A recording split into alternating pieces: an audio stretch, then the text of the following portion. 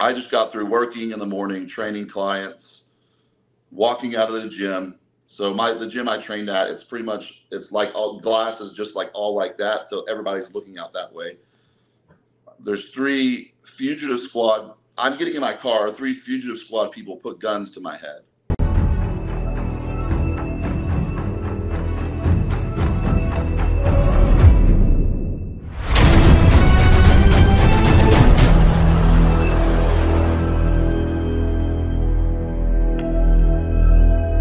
Created Species Nutrition with one mission in mind to provide bodybuilders and serious athletes with no nonsense supplements that work. I put my name and reputation on every bottle of Species Nutrition products. If you want to be your absolute best, join the evolution.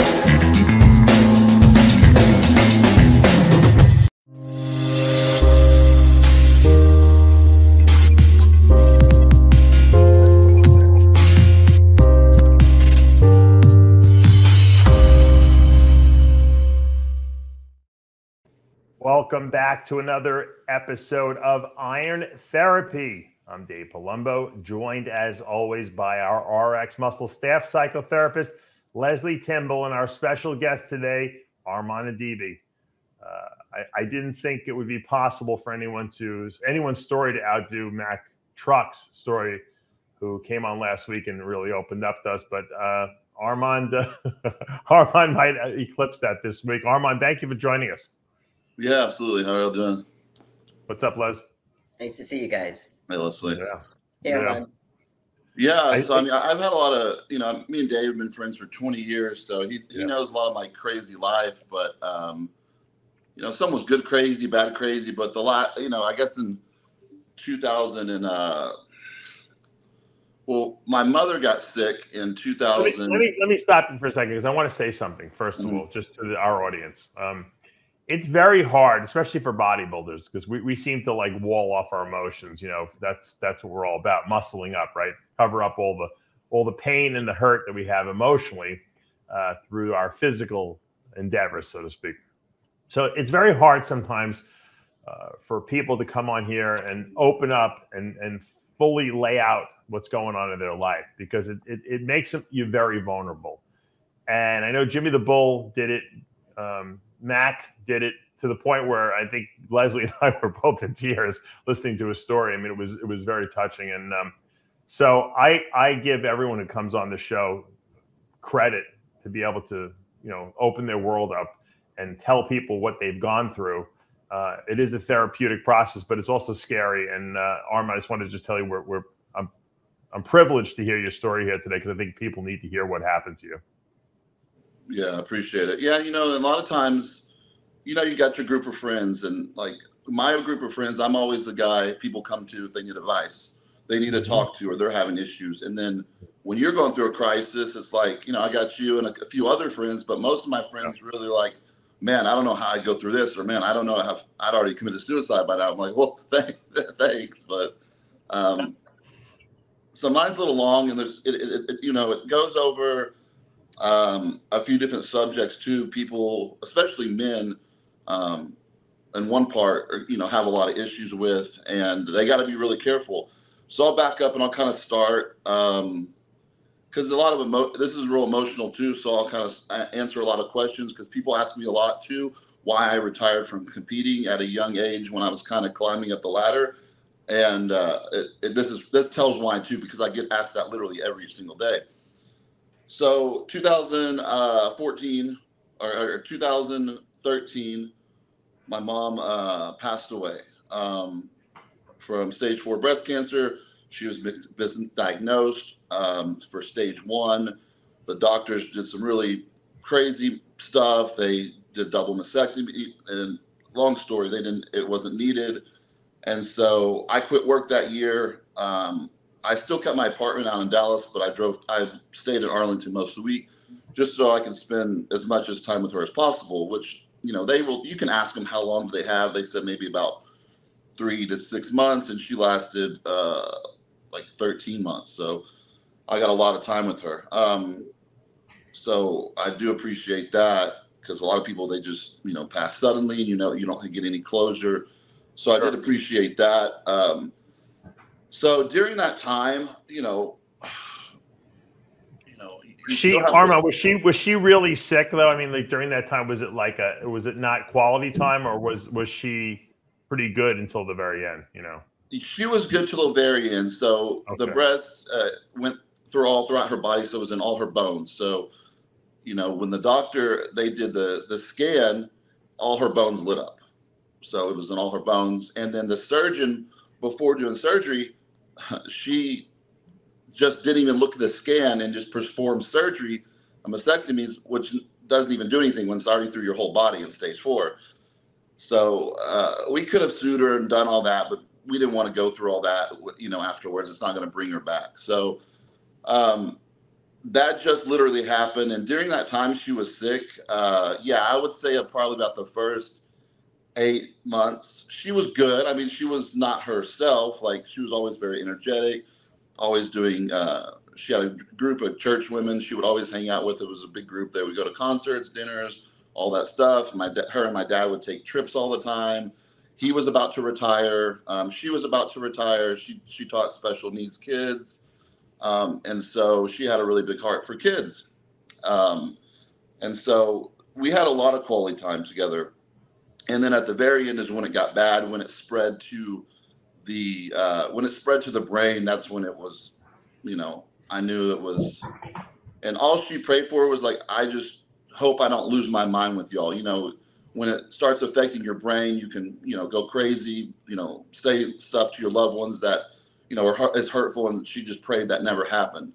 And it didn't. She had her mind all the way till the end. Um, but I was, you know, I pretty much quit work and I was taking care her uh, at home. I would just stay home all day. I'd go, you know, train a couple people locally at Metroflex and just spend, and all the questions I ever wanted to know about my mom, my dad, like I just asked her everything. I mean, there was, I mean, I told her pretty much everything, anyways, because we were, that was my best friend. Some people, people's relationships are different. So sometimes, you know, I've had fr- friends their parents die, and it's like not that hard. They're like, you know, it's not a big deal to them because they weren't very close or they weren't, you know, they didn't have a good relationship. But that was my best friend. So um, I think that's part of the reason why when I always dated girls, I never really wanted anything serious. It's because, you know, I always compared them to my mom, and it was impossible to live up to that.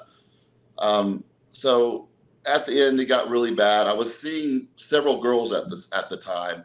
Um, not gonna lie, I had a couple sugar mamas or whatever you want to call them, but uh, paying bills because I quit training. I, I quit working all the way through the week, so I had several girls like helping me financially too because I quit work and I still had to keep my apartment. And um, you know, I was just basically uh, treating my mom to whatever she wanted to do. You know, just just spoiling her in you know her last days. But she uh, she finally passed when I was uh, at the end. I was seeing about four different girls, dating about four different girls at this time, and um, they were all trying to be there for me. And you know, a lot of people see it as a way to kind of slip in your life.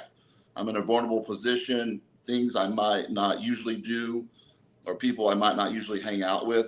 Um, I did, and it, I made some judgments that weren't very good. I I was around a lot of women that were there was red flags everywhere, um, and one of them, um, literally, uh, we broke up about I would say a month or so, maybe a little more before my mom passed away because Dave was prepping me for nationals that year, 2014. Uh, she yeah, she just passed away in 2014. I get it mixed up sometimes.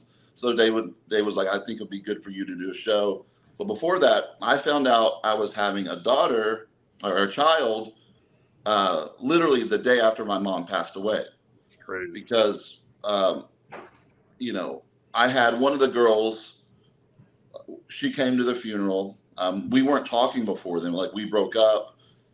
It was, uh, you know, she had a rocky pregnancy, and um, I moved her in with me during that time because she was a pot smoker, and I was so excited to have my child. I wanted to make sure that I could like monitor her and essentially control, make sure she's not doing any drugs while she's pregnant with my with my child Right. and um, I'll just call her my ex because I'm not going to say any names. Uh, Yeah.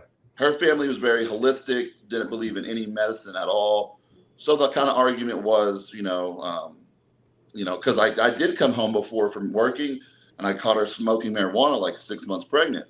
And Yeah. I mean, I was devastated. I was heartbroken. I mean, is one time probably going to do something? Probably not, but it's still the fact that you're trying, you're you're pregnant. This is your child, and that like literally broke my heart. Got in a huge argument. Swear to never happen again. She was saying, "Well, the Zofran, that's poison to the baby." I'm like, "No, marijuana is proven to cause you know troubles." So happened once again, and that's when um, we kind of like broke up. And I'm like, I don't know, I don't know what to do. I can't. If she's gonna smoke, she's gonna do it. Find times during the day to do it or whatever. So during that time, um, we were living in my apartment. Then I eventually, eh, when my daughter was born, I got us a house um, right outside of Dallas in uh, Plano. So uh, this is a lot of information, so I might pause a lot to kind of kind of think about it. Um, so in my right mind, I would have never settled down with this woman, anything like that. The whole time dating too, I was trying to remind her like, hey, I don't want any type of future with you. Um, and we we had some breakups too, and she found a way to kind of slither back in my I don't know what you call it, come back in my life. Um, and uh, you know, it was funny because my mom met her once, and my mom always met, you know, most girls I was dating to kind of get the approval, and she, you know, my mom was always, yeah, she's really nice or this or this, but this girl she goes, I don't like her. I'm like, what? Because my mom was always very sweet. She always saw the best of her. She's like, something's just off. I just, I just don't like her. I'm like, what is it? She's like, I just, I just don't like her. I don't know. And I'm like, okay.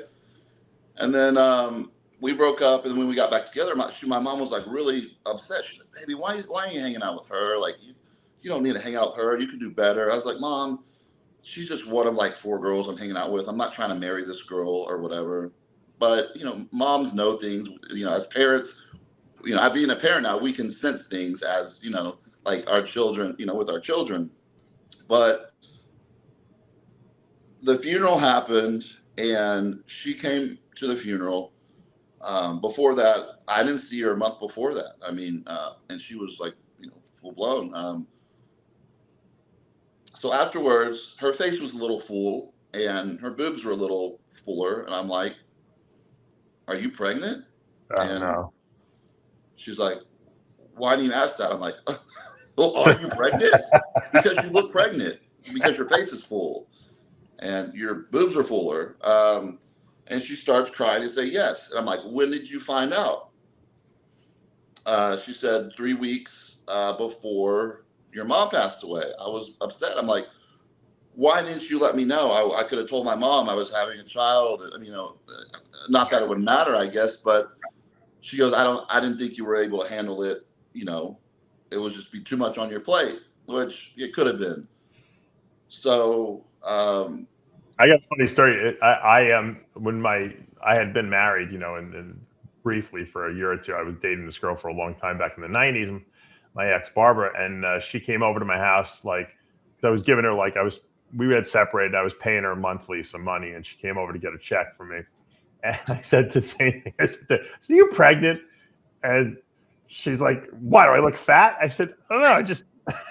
and she didn't even know. She didn't know she and then she called me like like the next like a week later and she or and she's like you're an asshole i'm like what do you mean she's like you knew i was pregnant before i did So it was, it's pretty it wasn't mine it wasn't mine it was, it was Oh. you know, she was dating another guy yeah it wasn't yeah we weren't yeah we weren't hanging out or anything like that but it was just funny but go ahead finish the story yeah. So, um, you know, I, I decided I was, you know, I'm going to man up and I'm going to take care of my child. I was actually, I was actually excited because my mom just passed away and I'm devastated. I don't know, you know, during that time, um, I had shoulder surgery too, like a year and a half prior, and my I had two shoulder surgeries on my left shoulder, so I was didn't even know if I could bodybuild again because my shoulder was never the same. So during that time, I wasn't really working out much either, and then that's why afterwards I decided to start working out again, and then we did three shows that year. Yeah. Um, so I decided, you know, to get a house and my plan, I had it from the beginning. I'm like, okay, I'm not going to marry this girl. I'm not going to end up with this girl. Um, she lies a lot. She believes her own lies. Just a lot of a lot of things about her I just do not like, and I I do not want in a partner. You know, it's just you know the person. This is not the person I want to spend my life with. Um, so moved her in. Play, I play house. You know, family for about two years or so, and then my plan was to cordially separate and co-parent. And um, I don't know why I thought this would work, being you know, the, knowing that her nature. but you know, I spoke to my father too, and he's like, uh, in his accent, Persian accent, no, no, you know, you want to be around your baby, and you know, don't you know? And I was like, I know, Dad. I'm. He's like, he's like, be a man, just fake it, you know. And I said, okay. So, uh, got us a house. Uh, you know, I pretty much um, took care of my daughter full time because this girl was in the restaurant business. So, you know, you're working full days, coming home at midnight sometimes. So, um, I pretty much did everything. Woke my daughter up, played with her all day, bathed her, fed her all day. So, and then the times she would come home, I would go train people at the gym. And then most most of the money was coming from coaching too at that time with training, you know, also. Right. Uh, I had to adjust my schedule a little bit, but I loved it. I mean, I was it was amazing. Um, there's nothing more enjoyable than going from my life I lived, such a wild, crazy life, women, you know, bodybuilding full time, partying, being extremely selfish to being selfless and taking care of this little, you know, child that's yours. And so I, I, I fell in love with it. And so we started kind of getting distant. Um, you know, she was jealous of the child. I'd be, you know, always loving on my daughter. And, you know, she's like, all you care about is my, your daughter. You don't even care about me. I'm like, well, yeah, but I didn't say that. I'm like, you know, so kind of started getting distant. Plus, at the time, I was still seeing these other girls, and I would be open with her and tell her like, "Hey, I see other girls because you know I really don't."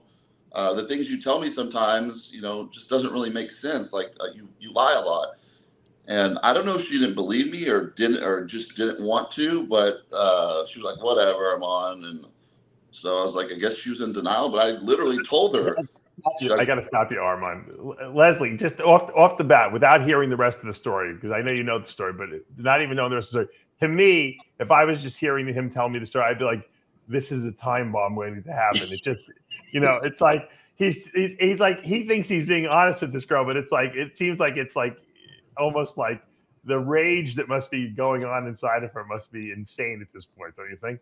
There's definitely some mental health issues with this woman, and I haven't even met her, but just by her actions and her attitude and her perspective on life, yes, yes. But, but I'm saying just in, in what he's telling her too. I mean, you know, women can't handle that. You know, oh yeah, by the way, I'm, I'm hanging out with other girls, girls during the day when you're at work or whatever, or after work or whatever the case may be. It just it that doesn't usually bode well, you know. Not typically, no, no. no. So we planned. Uh, she wanted to take a vacation. She was pretty much like kind of started having a nervous breakdown um, because I had some little health issues. I had some sinus surgeries I had to have, and they were really, really intense. So I had to have a surgery, and then I couldn't pick up my daughter for like three weeks. So she had to. We had to get care. Um, you know, from her her parents lived in. Uh, she's from the country, like. Uh, country country about a couple hours away from here so we had to get her mom to come over and take care uh, while she was working and her mom literally asked me like can you pay me for babysitting i'm like is, is your mom kidding and she's like no you know they're you know hard up on money i'm like yeah sure i'll give her some money uh, you know whatever um, and you know uh, they're a really odd. They were just a really odd family. Um, just a weird bunch. I mean, they she didn't really get along with her mom. She would tell me stories about ex boyfriends that didn't really make sense of them being abusive. I would ask her mom about it. She's like, no, she's just being paranoid. That's none of that stuff's true. And then I would tell her tell her that my ex, and she was like, no, my mom, my, my mom would never say that. My mom knows everything that happened. So it was I'm like I'm just in a mess, and so I was just trying to like do my own thing, work, concentrate on my daughter, and just be like, this girl is just nuts. Something she's got some serious issues. We all have issues, but she's got some serious ones. And um, we she wanted to go on a vacation, so we planned a vacation, and I had to have the surgery, so we we didn't get to go. So the doc, so we re, we replanned the vacation to. Um, she set it all up, and then when I was healing from that sinus surgery, um, it was like four or five weeks post uh, surgery. I was bathing my daughter, and I started bleeding out. Like my nose turned on like a like a water faucet. I had to actually get a blood transfusion because I lost so much blood, and they had to call the doctor to do emergency surgery that night. Um, and so uh, we didn't get to go on that trip either. Once that happened, uh, she really needed to get away, and she goes, "I just want to get away with you. I miss you so much. We just need time together." And I'm just like, whatever. I would just like a vacation too at that time. Um, once that happened, it was just kind of like downhill. I saw her kind of just going downhill, not eating. She was losing a lot of weight. Um, I was even questioning if she using you know drugs at this time because her behavior was just just really emotional. Um, so you know, I wouldn't when she was home. I would always kind of leave. I'd either go work or go hang out with somebody else and uh, there was so much going on in this, in this time. It's just I had um, I was doing a, a, side gig job, you know, for money too, and like a Mel Entertainment stuff, and um, so I was kind of doing that on the side too to help support the family because I was pretty much paying all the bills. And before that, like I said, I took all that time off from work, and um, so uh, it starts getting you know more rocky and rocky and uh, we get an argument one night um, i don't even remember what it was about i'm laying on the bed like with my hands like out like this like uh, supporting all my weight always kind of stretched like that while i was talking to her and i said something to her and she flipped out through through my phone at my my face missed it then she ran by me and punched my arm like that and it my elbow popped in and I tore my tricep completely from the bone. Um, at this time, I was on um, the antibiotic we were talking about the other day. Um, what? The devil antibiotic. The cefepime or vancomycin? Um, not the vancomycin. The one for tendon tears that causes tendon tears. Oh, oh, oh, oh, yeah, yeah, yeah. Levaquin. Levaquin, Levaquin, yeah. So my tendons were really weak, so it just popped, and I'm like, that was when I was trying to kind of make a that was 2015. So I was kind of yeah, trying to make a comeback in bodybuilding. It was my off season. And I was like, like I was devastated. And um, after that, uh, got in another argument another day. um, you know, I was sitting down, I was waiting for my breakfast. She was boiling eggs. She got a boiling egg right out there and came up and threw it right in my head. It smashed my head and doesn't sound like a big deal, right? It literally burned me open wow. and all that got stuck in there. I had to do laser treatments for a year to get rid of the scar. It was so bad. And then after that, I was like, I gotta, I gotta. Why, hold on, why'd she do throw the egg at you?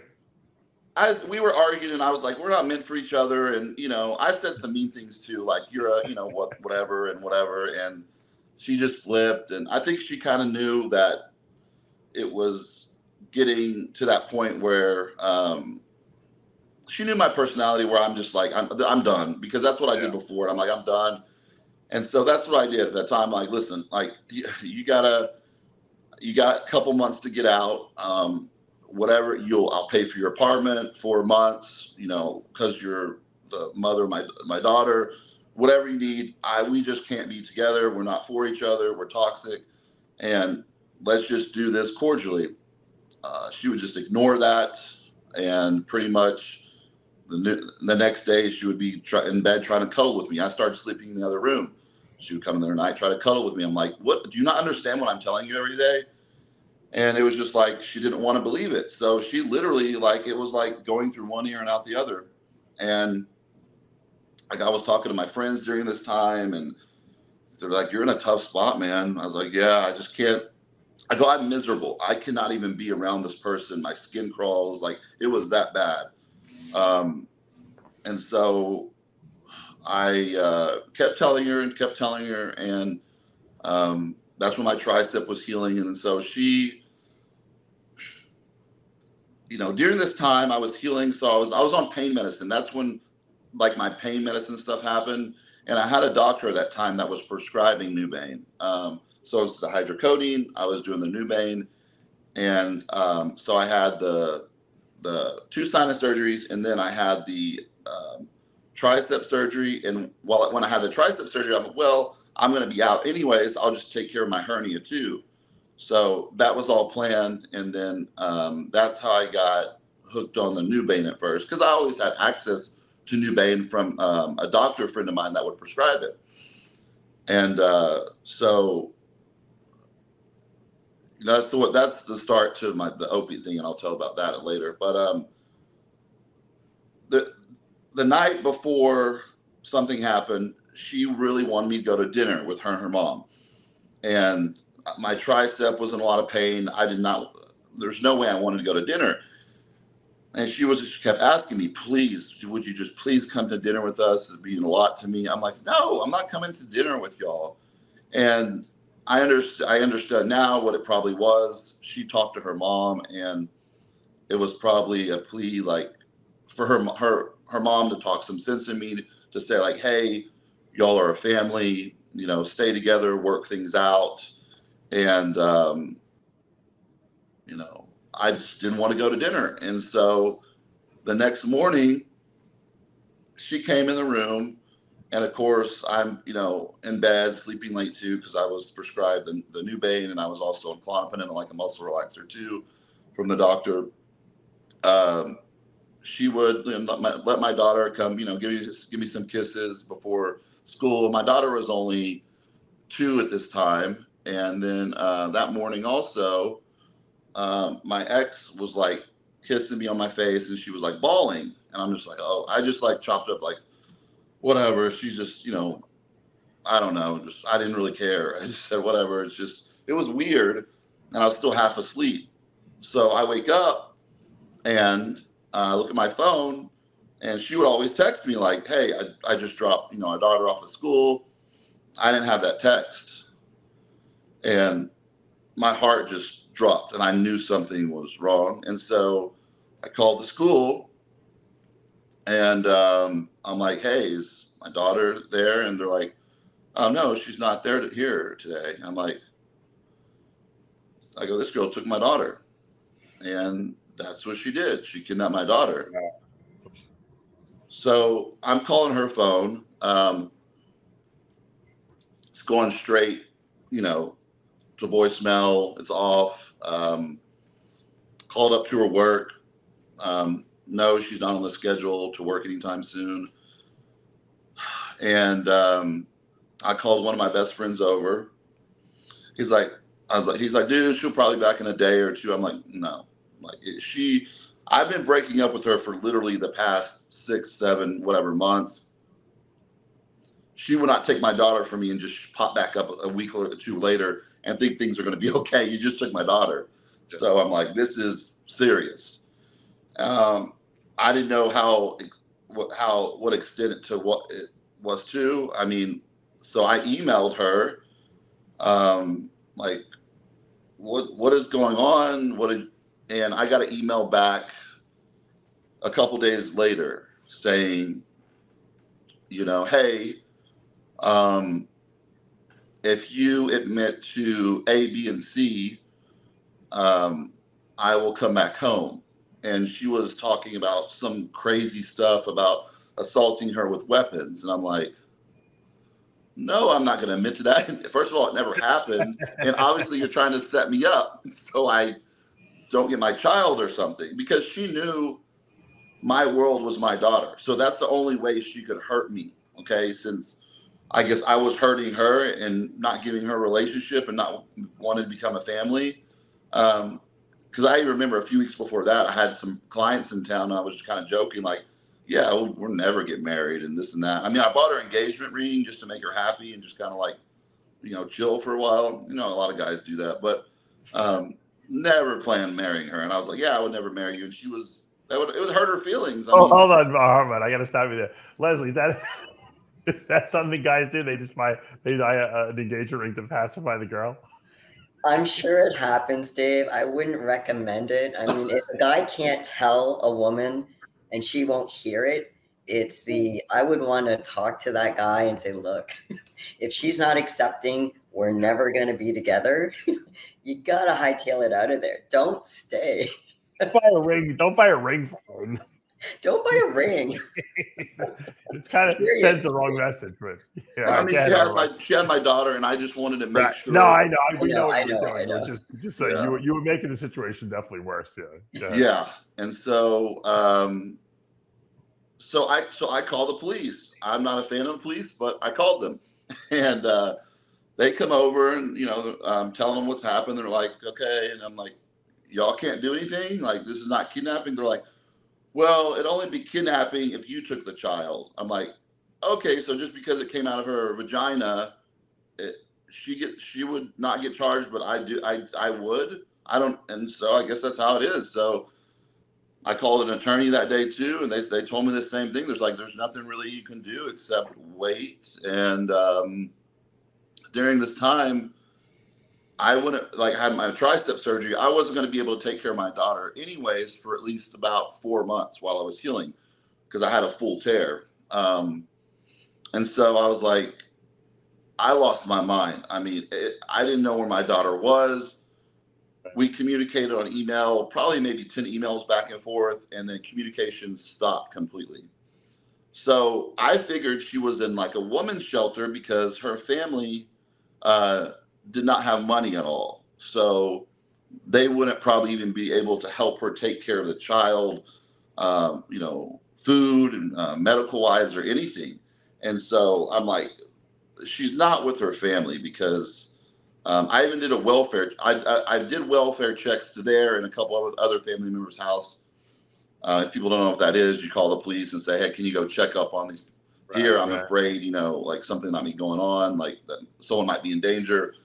And the police go up and say, "Hey, can I look around?" And you know, whatever. So my my daughter wasn't any of those places. So, um, and then one of the emails were like, you know, I'm in a safe place, and uh, if it was some wacky email, like basically saying, God will bring us together again. I just need some time. And I'm like, that's fine. If you need some time, you don't kidnap my daughter. You don't kidnap my daughter. Right, right. Um, and so each day went by, day went by, and I, I mean, I was up at night. I, I, my daughter was gone. I didn't know where she was, and it eventually got to a point where, um, I really didn't even know if she was even alive anymore. I mean, I hired PIs, uh, hired an attorney. PIs came up with nothing. So no credit cards were being used, no cell phone was being used. So they're like, she's at a women's shelter or some organization.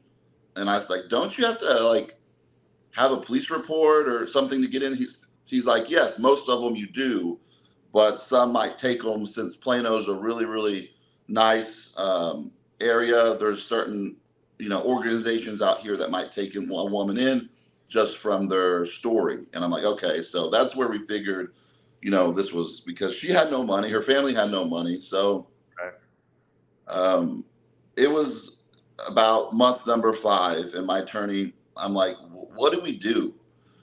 She's like, well, the next step would be to file a writ of attachment. That's where um, you pretty much write a statement. She goes, after this, it's going to be war, but it's been almost six months and your daughter's not back, Armon. And the only, you know, reason I waited this long because even if I got her back, I wouldn't be able to take care of her because of my injury. right. So we decided to file a writ of attachment. So it's basically I write out like stuff about our relationships, um, my concerns, what happened, and then the judge either says yes or no and signs it, right?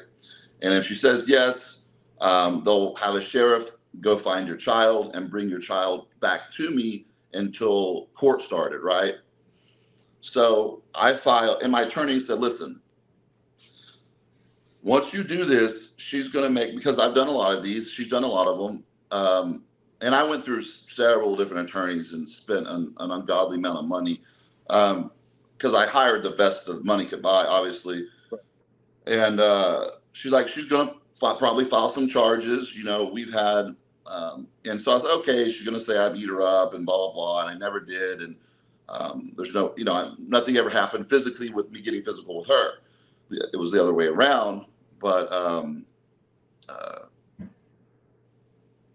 and so the judge signed it, and um, literally a couple days later, um, I was friends with certain uh, police uh, officers in the Plano location. So I was checking in with them and they were checking to see if any open cases were open. And literally two days after I filed that, she went and made a police report. Um, and it just was pretty much family violence, like domestic violence. I'm like, okay, whatever. I'm ready to deal with this. Whatever she said I did, whatever. Um, and so I spoke to the detective on the phone. I actually called and said, Hey, I heard there's an open case on me. He's like, How do you know? I'm like, Well, is there? He goes, Yeah. I said, Okay. I'm going to come down there Monday and talk to you with my attorney. He was nice on the phone, whatever. You know, I didn't, I didn't know the guy or anything like that. Um, and so that was planned. So here comes Monday. I just got through working in the morning, training clients, walking out of the gym. So my the gym I trained at, it's pretty much it's like all glasses, just like all like that. So everybody's looking out that way.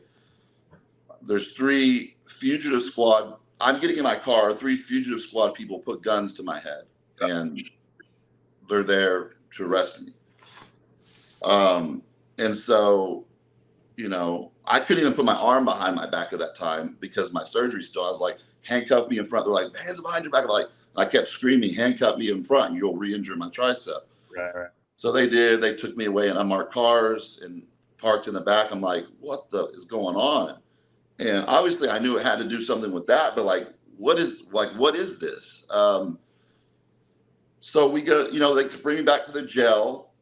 Uh, the guy's like, I was being, you know, nice with these people, and he gets on the phone with the, the, the detective I was supposed to talk to. So this detective sent these people there, even knowing I was coming in later on to catch me at the gym, to mess up my reputation and money and all that stuff. And you know, it did. Um, so they put a hold. You know, when you go to jail, you get a you get a phone call, of course, as soon as you you know book you get booked in. So there was a hold on my phone call, and that's because they were doing a search warrant of my house for I guess the report was it's funny, but it's not funny because all this stuff stuck until I went to trial that I stabbed her, I beat her up with a police baton, and I beat her up with brass knuckles. I'm 280 pounds, but I need these weapons to harm a girl, a 120 pound girl, right? And I'm like, there's no way that this is crazy. And so the detective comes back to the jail, the one I originally spoke to, and he's like, bring Adibi out. And he's like, literally talking shit to me. He's like, we got you. We're going to bury you under the jail. Um, we found GHB in your house. We found this. And I actually had a prescription to GHB at the time called Xyrem. And I'm like, yeah, it's a prescription. He goes, well, it wasn't a prescription. We're going to bail you under the jail. And so I've dealt with detectives before, obviously, and police. And this wasn't a detective just being an asshole or doing his job. This, his emotions were involved. I'm like, they're literally seeing each other in the process of seeing each other are just, you know, really close friends because when she made that call, he's he's over domestic violence in Plano, and so he's the one that took over the whole thing. So, and I was telling people like they're literally, and, and people are like Armon, you're being paranoid. I'm like, no, I'm not being paranoid. They are together, and so I got bonded out, of course, at a hundred thousand dollar bond. A hundred thousand. Holy hundred thousand, three three ag assaults, deadly weapon. So I had to get an ankle monitor um, put on. I had that for like seven months. During this time, I met my current wife, and um, she didn't even ask me what it was. She thought it was just something, maybe she like a fitness tracker or something. Because I'm like, why didn't you ask me for you know, I had to tell her eventually because I and then I asked her like, why did you ever ask me what was on my ankle? She goes, I don't know. I figured it was something to do with fitness or you know. and she and my and my wife, she's so sweet. I mean, she was when I met her, she was just lived in a bubble. I mean, she's she's a doctor and went and went to school, and you know how that is. And she's uh, you know, she's Asian, so different culture, family, and you know, it's just so. Me and her were just friends at that time. You know, we met. Uh, I think I, she hired me to do a diet for her, and then we we met at the gym. and I was training her. We were and we became just really close friends during this time. Um, and um, you know, so I was on this really strict probation. I was still living in Plano at the house there, and crazy stuff was happening. I would have friends leave my house, and unmarked cars would be following them. They weren't even trying to be like secretive about it. They'd be like right on their tail and keep following them. Um, one night there was, so I had my guns in my house too. I had two Glocks right on my nightstand, and they were loaded, uh, you know, in the chamber and everything. So when they did a search Wait, just for the people don't know, everyone in Texas has a handgun, so that's not unusual. Yeah. Good. So, you know, I'm sure she told the cops something crazy. I think what came out in the report that she told him, uh, she was like, Armon said he would never be arrested again. He would do. There would be a shootout before he went back to jail. Oh my god. So they do a search warrant in my house. I didn't have anything in there because I wasn't really bodybuilding at that time. I had some testosterone prescription and but that's about it. So they thought, and then at that time too, um, they cross-referenced my name and one of my close friends' names with being distributing anabolic steroids, and I'm like, I've never sold steroids. I'm not stupid. I coach people, and if you're a coach, that's all someone has to do. Hey, hire you as a coach, and that'd be a great setup. So I'm not dumb. I've been, you know, coaching people for 20 years, and you know a lot of the people over the years. Hey, can I get some stuff? You're like, yeah, that's a detective, or that's yeah. a law enforcement. So, um, you know, so they really they came up empty empty handed and they were mad. And so, uh, first we had to start my custody hearings, okay, and um, that that detective was coming with my ex to the custody hearings. And I'm like, this isn't normal. And they would literally show up and he would have his arm around her walking. Because when I would go to court, I would have um, friends there, like in the parking lot, like looking out, and I also had PIs. I mean, I was, you know, driven and catching whatever was going on. Um, and I'm like, asked my attorney, can they just do that? He goes, well, you know, we brought it up in court eventually. Like she's in the back of the of the parking lot, hugging on this detective before they go into court, and then he's getting on the stand talking about basically he messed up my whole custody case because I've got these charges, so I I got I could only do supervised visitations with my daughter, and that was infuriating because I I pretty much raised my daughter, sure. and I had to have someone come and sit around while I was with my daughter. My daughter didn't like it at all. She would be like, "Daddy, Daddy, like come and like take me to the closet and shut the closet." She was mad somebody else was there and was confused. She was like two and a half at this time, going on three, and um, you know it was hard on her. And then when I got her back, she was just a sad baby, and that broke my heart. She wasn't the little happy, just baby that I just had six, seven months prior. During this time, I'm like, where have they been living? Who they've been around? I mean, as a father, that will drive you literally insane. And when they were missing my daughter, I would literally just drive around town like for hours, thinking I'm just going to spot the car. And like, I didn't know what else to do. Did you ever find out where they were? Um, so I had my cop friend run their plates. That's another story several times, nothing came back, and then no. Uh, so I wasn't allowed to know where they lived, but yeah, we. I had the PIs. They found out where she lived, just so I knew where my daughter was at. You um, or, or no? What? Was she close to you, or was she was she far? Uh, she about twenty minutes away. Okay.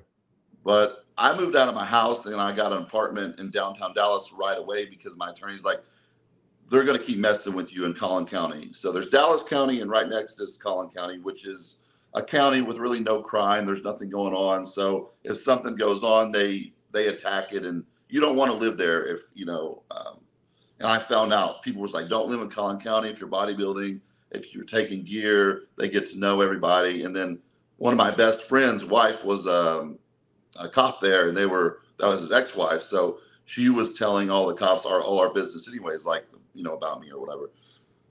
So, but my life was clean at that time. I wasn't, you know, on cycles. I wasn't, you know, doing any recreational stuff or anything. Um, and uh, the court, I just kept going nowhere, going nowhere. I went through several different attorneys, and then the criminal stuff that takes forever. We didn't even. I mean, they were offering me 15 years prison. That was like the final offer. And you know, when you get closer to the court, they'll be like, okay, 10 years probation, this, this. They said from the beginning to my attorneys, this is our only offer. We've got him. Um, he, we this is a this is a cl- closed uh, case, and we're not coming off this. And my attorney was like, Armon, is there anything you're not telling? I'm like, no, there literally nothing happened. Had, luckily, I kept all my text messages that all these days she said these events happen, all the texts were just normal everyday texts like, "Hey, I'm going to the grocery store. Okay, love you, love you, whatever." You know, so it was nothing. You know, there was no evidence, no nothing. That's why I'm like, and everybody's telling me there's no way this is going to stick. Well, it sure did stick because when you have a detective that is screwing your ex and he's up there and been with the you know department forever, they've got some power. I called internal affairs because, uh, you know, in Dallas, I grew up in church with uh, the guy that was a, a, district attorney. He's like, dude, call internal affairs. I called them and they said they found nothing wrong with them hugging and coming to court and hand in hand. And I'm like, right, because they're all friends, right? So, um, I mean, I would be on the stand crying about my daughter in custody court. This detective would be in the stands literally laughing out loud while I'm crying and I'm looking at the judge. I'm like, you're not even going to say anything, like, right? And and I wanted to, you know, what this guy, and so it became so personal between us, and he was at every single thing, and this guy even got a hold of every girl that he possibly could that I ever dated, going back right. to high school, and I had several girls call me and like, hey Armon, this detective called me and said, hey basically, do you hate Armon? Um, do you want to come to court and say he abused you, like straight up? And I had several girls call me, and that's what he was doing. He was calling exes of mine, like scorned exes, to see if they were mad at me to come to court to say, yeah, Armon was abusive, to try to build up, you know. And I think one girl said she would come, and that was one of the girls I was dating during that time. I was seeing my ex because she thought I was going to leave my ex eventually and be with her. Uh, but I told her, even though I, if I leave her, I'm still not going to be with you. Um, the thing is, I'm straightforward with girls, but the thing is, a lot of women are like, oh, they're just saying that, you know. So she got on their side and she was like calling me, checking up on me, and she was recording our phone calls because I just had a feeling that she would just ask me weird questions. She's like, do you still do GHB or like I'm like, why are you asking me these questions? And so I found out she was recording me. I called her from a different number one day. Whatever app she had, she put it on late and goes call tracking. So I heard that she started recording the phone call. So I and I emailed her. I said, "Listen, you want to get involved in this? It's about my child.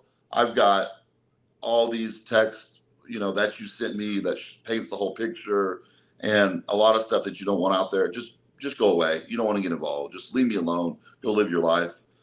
Um, because I, I, mean, I, I, did break a couple girls' hearts at this time, and um, you know, the ex, she was basically like, you know, we were supposed to be together. You broke up our family. I mean, she was just scorned, and I got a corner. I had to go, go go to counseling during all this time, take these parenting classes, and the the counselor that the um, courts gave me actually um, we got along great. older black lady. She was just, she's like, from getting to know me, she's like, I believe you, and this is crazy, but this is what happens when you, and you're, in her eyes, Armon, you destroyed her life.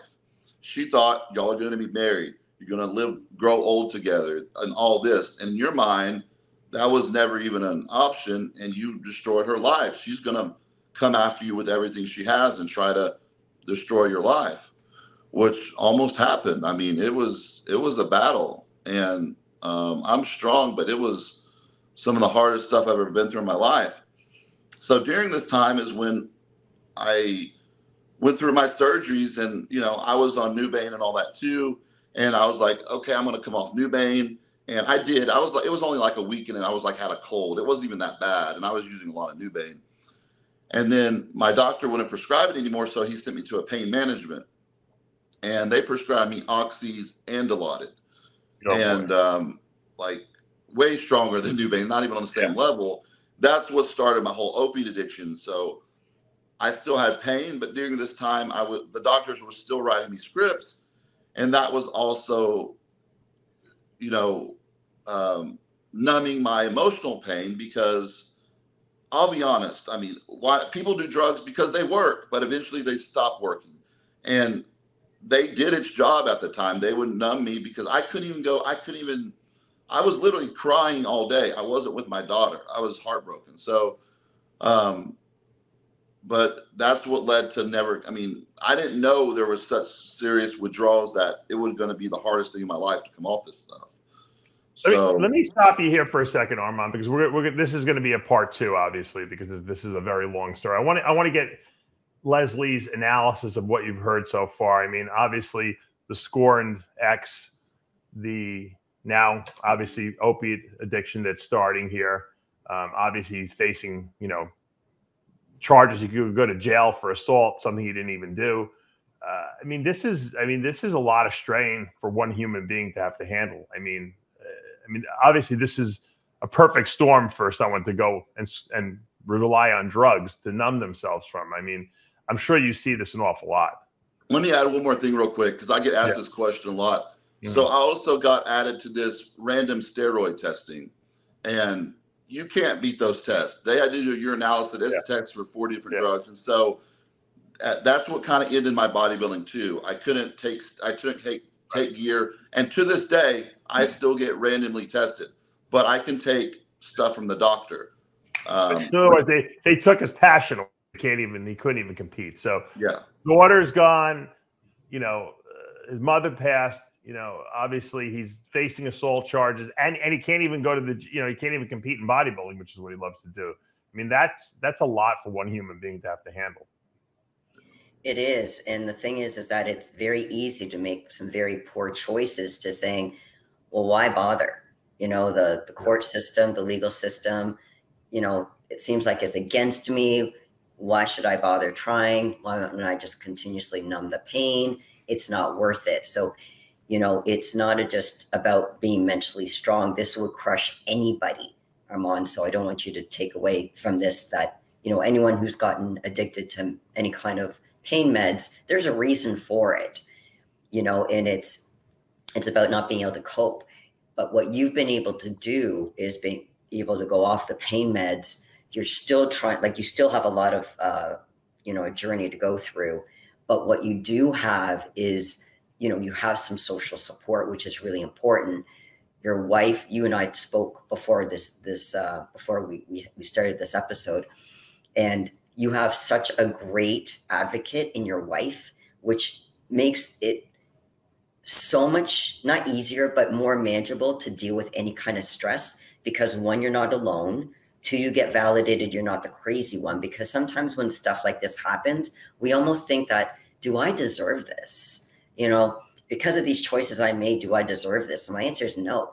You know you know you try to explain to the ex that you weren't interested in her she wasn't able to accept it um, like i said there's there's some mental health issues which I can talk about a little bit later, but that's impacting her behavior towards you. Now, as far as what you can control, I've, I've said this before on the show, is control the controllables.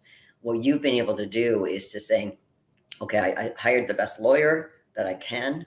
You know, I'm trying to do the best that I can. I'm documenting stuff. I'm keeping text messages which if anyone's watching this and they're going through a similar situation, it's easy to say, I want to delete everything because you don't want to have any memories. This is your backup. You need a backup because yeah. it's basically one person's word against the other. And even that is not good enough in the court system. Unfortunately, there's such a big um, favoritism towards women, which is not which is not fair. I'm not saying for all women in all cases that's that's necessarily, you know, because there are true allegations. This is bullshit you know, and the fact that you have to fight against something that's not true can do a mental number on you.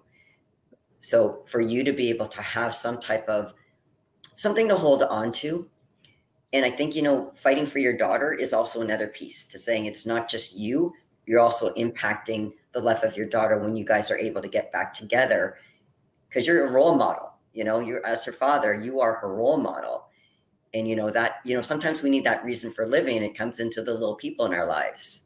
Yeah and, and every daughter loves her daddy you know that whether even even the bad daddies you know.